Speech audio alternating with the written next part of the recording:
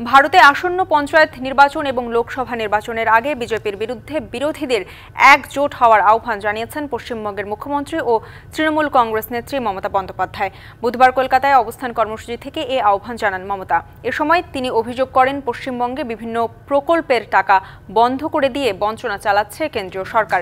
কেন্দ্রীয় তদন্ত সংস্থা ইডি ও সিবিআইকে ব্যবহার করে রাজনৈতিক প্রতিহিংসা চালানো হচ্ছে। প্রতিবাদ করলে মামলা ও গ্রেপ্তারের অভিযোগও করেন মমতা।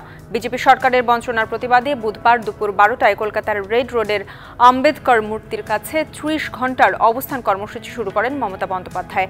আজ সন্ধ্যা ছয়টায় এই কর্মসূচি শেষ হওয়ার কথা রয়েছে। অন্যদিকে মমতার বিরুদ্ধে কেন্দ্রীয় সরকারের বিভিন্ন প্রকল্পের টাকা লুটপাটের অভিযোগ এনে বুধবার কলকাতায় শ্যামবাজারে পাল্টা অবস্থান ধর্মঘটে বসেছেন শুভেন্দু অধিকারী সহ অন্যান্য বিজেপি নেতারা।